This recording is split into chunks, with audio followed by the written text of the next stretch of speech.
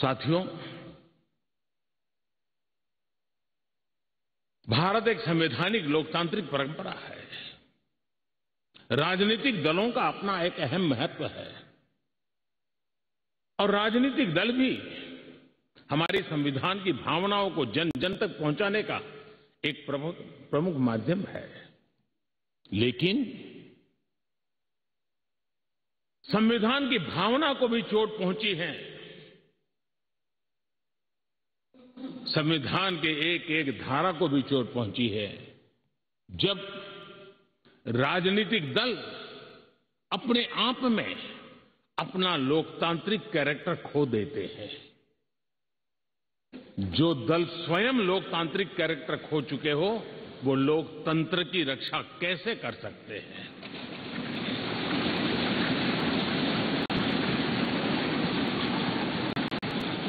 आज देश में कश्मीर से कन्याकुमारी, हिंदुस्तान के हर कोने में जाइए। भारत एक ऐसे संकट की तरफ़ बढ़ रहा है, जो संविधान को समर्पित लोगों के लिए चिंता का विषय है। लोकतंत्र के प्रति आस्था रखने वालों के लिए चिंता का विषय है। और वो है पारिवारिक पार्टियाँ।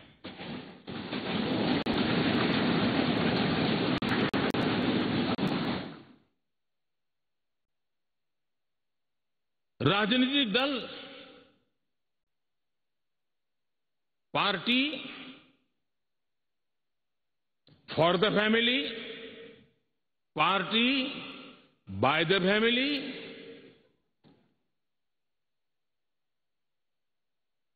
अब आगे कहने की ज़रूरत मुझे नहीं लगती है।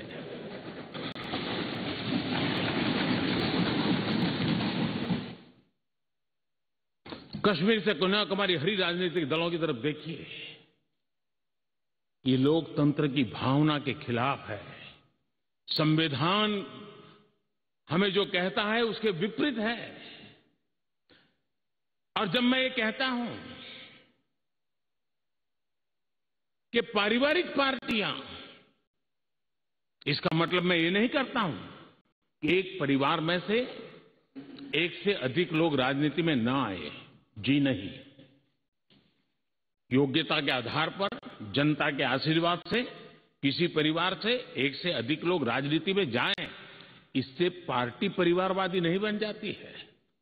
लेकिन जो पार्टी पीढ़ी दर पीढ़ी एक ही परिवार चलाता रहे, पार्टी की सारी व्यवस्था परिवारों के पास रहे, वो लोकतंत्र, स्वस्थ लोकतंत्र के लिए सबसे बड़ा संकट होता है। और आज संविधान के दिवस पर संविधान में विश्वास करने वाले, संविधान को समझने वाले, संविधान को समर्पित सभी देशवासियों से मैं आग्रह करूँगा कि देश में एक जागरूकता लाने की आवश्यकता है। जापान में एक प्रयोग हुआ था। जापान में देखा गया कि कुछ ही पॉलिटिकल फैमिली ही व्यवस्था में चल रहे हैं। तो किसी ने बेड़ा उठाया था। कि वो नागरिकों को तैयार करेंगे और पॉलिटिकल फैमिली के बाहर के लोग निर्णय प्रक्रिया में कैसे आए? और बड़ी सफलतापूर्वक तीस चालीस साल लगे, लेकिन करना पड़ा।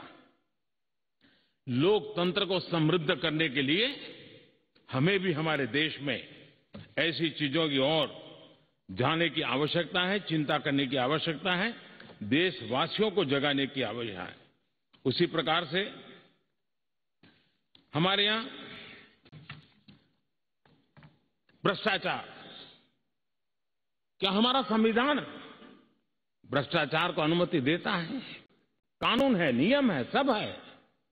लेकिन चिंता तब होती है कि जब न्यायपालिका ने स्वयं ने किसी को अगर भ्रष्टाचार के लिए घोषित कर दिया हो, भ्रष्टाचार के लिए सजा हो चुकी हो लेकिन राजनीतिक स्वार्थ के कारण उसका भी महिमा मंडन चलता रहे। भ्रष्टाचार को नजरअंदाज करके सिद्ध हुई हकीकतों के बावजूद भी जब राजनीतिक लाभ के लिए सारी मर्यादाओं को तोड़कर, लोक लाज को तोड़ करके उनके साथ बैठना, उठना शुरू हो जाता है तो देश के नौजवान के मन में लगता है कि अगर इस प्रकार से राजनीति के क्षेत्र में नेतृत्व करने वाले लोग भ्रष्टाचार में डूबे हुए लोगों की प्राण प्रतिष्ठा कर रहे हैं मतलब उनको भी वो मिलता रास्ता मिल जाता है कि भ्रष्टाचार के रास्ते पर चलना बुरा नहीं है। दो चार साल के बाद लोग स्वीकार कर लेते हैं कि हमें ऐसी समाज व्यवस्था खड़ी करनी है। क्या समाज के अंदर हाँ भ्रष्टाचार के कारण कोई अगर गुना सिद्ध हो चुका है तो उसको सुधरने के लिए मौका दिया जाए। लेकिन सार्वजनिक जीवन में प्रतिष्ठा देने की जो स्पर्धा चल पड़ी है, ये मैं समझता हूँ अपने आप में नए लोगों को लूटने के रास्तों पर जाने के लिए मजबूर करती है, और इसलिए हमें इससे चिंतित होने की ज़रूरत है। ये आज़ादी के 75 साल है। ये अमृत काल है। हमने अब तक आज़ादी के 75 साल दरमियान देश जिस स्थिति से गुजरा था, अंग्रेज़ भारत के नागरिकों के अधिकारों को कुचलने पर लगे हुए थे, और उसके कारण हिंदुस्तान के नागरिकों को उसके अधिकार मिले, इसके लिए लड़ना बहुत स्वाभाविक था और ज़रूरी भी था। महात्मा गांधी समेत हर कोई भारत के नागरिकों को उनके अधिकार मिले इसलिए वो लड़ते रहे ये बहुत स्वाभाविक है।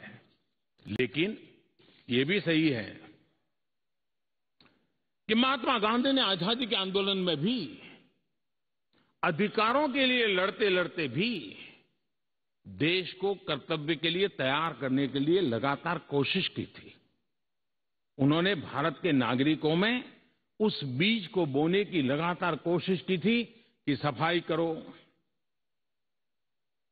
प्रौढ़ शिक्षा करो, नारी सम्मान करो, नारी गौरव करो, नारी को एम्पावर करो, खादी पहनो, स्वदेशी का विचार, आत्मनिर्भर भारत का विचार, कर्तव्यों की तरफ़ महात्मा गांधी लगातार देश को तैयार करते रहे। लेकिन आज़ादी के बाद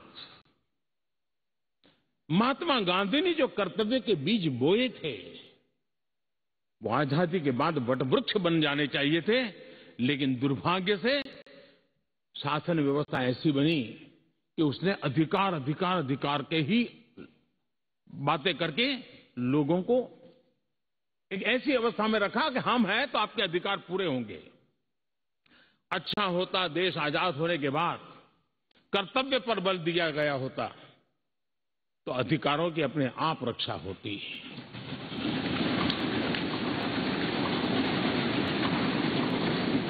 अड़ी सोमवार से शुक्रवार शाम छह बजे सिर्फ़ टीवी नाइन भारतवर्ष पर।